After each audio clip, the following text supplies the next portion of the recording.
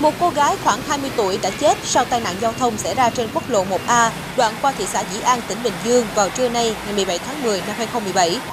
Theo thông tin ban đầu, nạn nhân gặp tai nạn khi đang ngồi sau xe máy mang biển số 59V1 93914 do một người bạn cầm lái.